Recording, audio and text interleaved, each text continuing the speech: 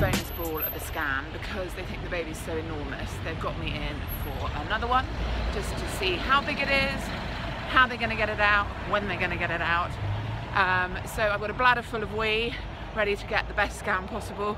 Um, and I'm slightly nervous, don't really want to be giving birth to the Incredible Hulk. So I've just come out of the scan and the baby's massive. It's six pounds already and I'm only 32 weeks.